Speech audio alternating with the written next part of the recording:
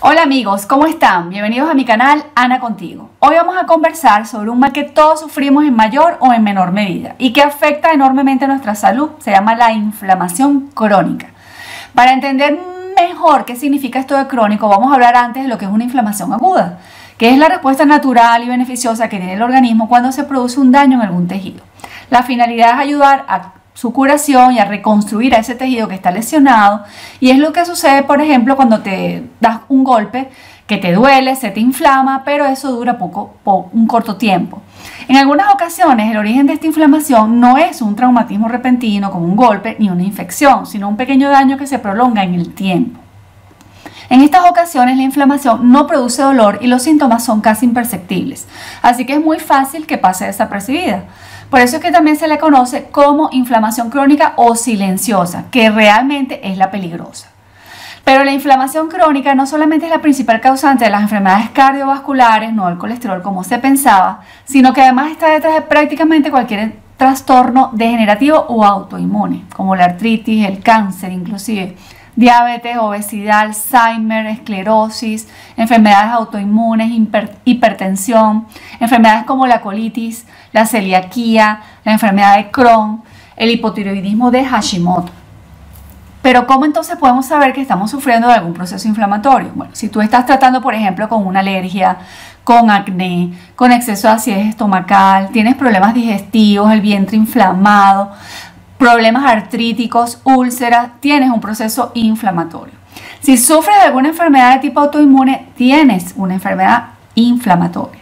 Si en tu dieta prevalecen los carbohidratos refinados, los azúcares, el tabaco, el estrés, no duermes bien ni completo, no haces ejercicio, convives en ambientes contaminados, tienes una dieta que es pobre en vegetales y en pescados, por ejemplo, tienes un proceso inflamatorio. Si sientes entumecimientos, hormigueo en manos y pies, pierdes el apetito, sufres de constantes dolores de cabeza tipo migraña, fatiga, cansancio, calambres, tu estado de ánimo es muy cambiante, si tienes problemas cardiovasculares o endocrinos, tienes un proceso inflamatorio. Entonces, ¿cuáles son las causas de esta inflamación crónica? ¿Qué la produce? En la actualidad se han multiplicado los estudios que investigan estas causas y las posibles soluciones a la inflamación. Se conoce un gran número de factores y los principales están relacionados con nuestro estilo de vida moderno.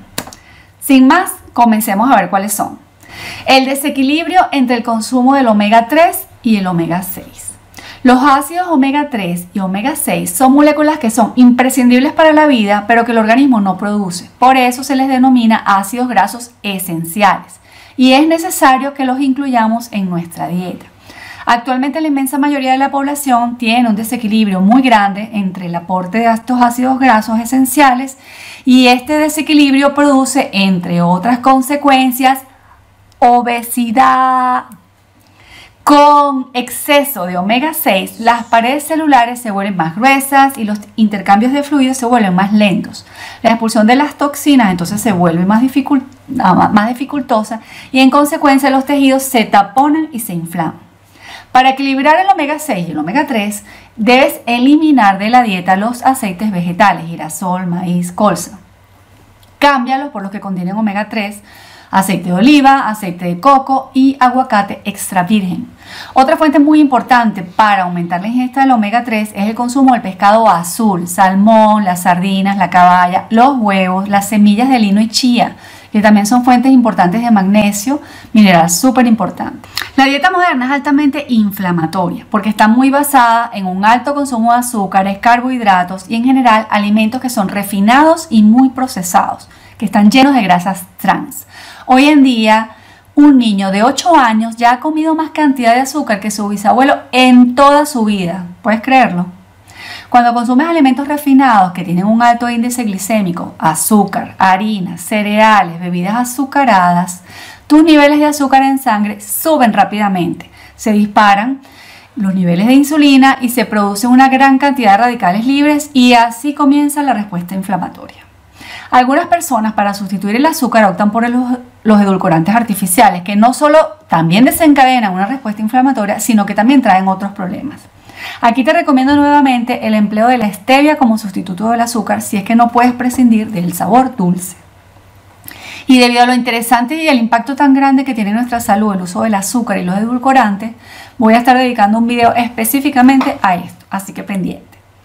Se ha demostrado que una dieta natural sin productos procesados, sin frituras ni azúcares pueden reducir la inflamación de forma considerable en solo 10 días. Increíble. Resistencia a la insulina. La insulina, como ya hemos explicado en otras oportunidades, es la hormona encargada de almacenar el azúcar en las células en forma de glucógeno. Cuando el azúcar se eleva en la sangre, el cuerpo responde elevando también sus niveles de insulina para poder enviar todo este azúcar a las células y recuperar los niveles normales en la sangre. El problema empieza cuando las células ya no pueden almacenar más azúcar y son incapaces de responder a la insulina. Entonces el páncreas comienza a segregar más insulina para que las células obedezcan y almacenen el azúcar que sobra. Una vez que tu cuerpo entra en este círculo vicioso, cada vez son necesarias más cantidades de insulina para que las células reaccionen. De esta forma, tus células se acaban volviendo resistentes a la insulina y así es como comienza el gran problema de la diabetes tipo 2. Estas cantidades constantemente elevadas de insulina en la sangre contribuyen a una inflamación crónica. Y adivina qué, engordas. Hasta aquí muy interesante, ¿verdad? Si te gusta, dale like y además comparte este video con tus amigos, con tus conocidos para que más personas se beneficien de esta información. Continuamos. El estrés y la falta de sueño. Cuando privamos al cuerpo del sueño, es más difícil que el sistema inmune mantenga, se mantenga con un equilibrio. Hay que asegurarse de dormir bien y lo suficiente para que el cuerpo se pueda reponer. La falta de sueño actúa de una forma similar al estrés crónico en el organismo. El estrés, como todos sabemos, es una respuesta natural y necesaria para la supervivencia, pero cuando se vuelve crónico se convierte en una de las principales causas de la inflamación, ya que el cuerpo provoca una respuesta inmune al igual como si fuese atacado por una infección. Por eso es que es tan importante que podamos identificar los factores que nos producen estrés en nuestra vida, que te tomes el tiempo para relajarte y reducir esos niveles que pueden afectar seriamente tu salud. Una recomendación para intentar dormir más y mejor es que apagues todos los aparatos electrónicos una hora antes de irte a dormir. La luz de las pantallas móviles, de las tabletas y de los ordenadores inhiben la producción de la melatonina, que es la hormona que regula el sueño. Otro tema que causa inflamación, el sedentarismo. Ya hemos hablado mucho en mis videos de la importancia de realizar el ejercicio físico por lo menos 30 minutos de 4 a 5 veces a la semana o de practicar algún deporte. El tener una vida sedentaria es inflamatorio y además no disfrutamos de los beneficios de las hormonas que nos ayudan a nuestro estado de ánimo y a liberar el estrés diario que ya vimos que es inflamatorio. Otro tema súper importante es el tabaco y otros hábitos que son tóxicos como el alcohol. No voy a extenderme mucho en este punto porque la verdad es que queda muy poco por decir de los numerosos riesgos y de todos los efectos nocivos que están asociados al consumo del tabaco. Al llenar tu cuerpo de sustancias tóxicas, este va a intentar defenderse y se inflama para reparar esos tejidos lesionados. Pero si eres un fumador habitual, el daño es crónico, así que tu respuesta inflamatoria también será crónica. Si te sirve de algo, es bueno que sepas que los beneficios de dejar el tabaco son inmensos, independientemente del daño que ya haya ocasionado en tu organismo. O sea que nunca es tarde. Así como el, tabaco y otras sustancias tóxicas, existen causas ambientales. Por ejemplo, si tú trabajas en oficinas donde continuamente estás respirando el aire que recircula por los aires acondicionados, estás sometido a productos químicos, ambientadores, productos de limpieza, plásticos, adhesivos y otras sustancias contaminantes, esto produce que tu sistema inmunitario se descontrole y entonces el cuerpo comienza a luchar para resolver ese problema de forma crónica. Para concluir, vamos a resumir. Aunque padezcamos cierta predisposición genética a sufrir obesidad, diabetes, enfermedades cardiovasculares y todas las demás, ¿verdad? Nuestro estilo de vida definitivamente es lo que realmente es determinante. Podemos protegernos siendo más saludables, y acorde con nuestros genes. Estas son las verdaderas medicinas. Alimentación real y variada, no procesados, muchos vegetales y frutas. Cocina tus alimentos con especias, cocina pimienta, eh, perdón, comino, pimienta, jengibre, cúrcuma, cilantro, orégano. Son excelentes antiinflamatorios, no solamente dan sabor a la comida. El vinagre de manzana, los productos encurtidos. Consume ajo, este es un potente antiinflamatorio. Consúmelo todos los días si es posible. Semillas, leches vegetales.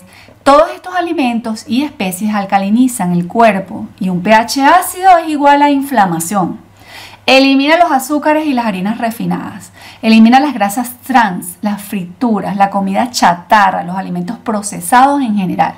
Reduce tu ingesta de omega 6 y aumenta la omega 3. Consume pescados azules y aceites saludables. Baja tus niveles de estrés. Duerme más y mejor. Realiza alguna actividad física de forma regular.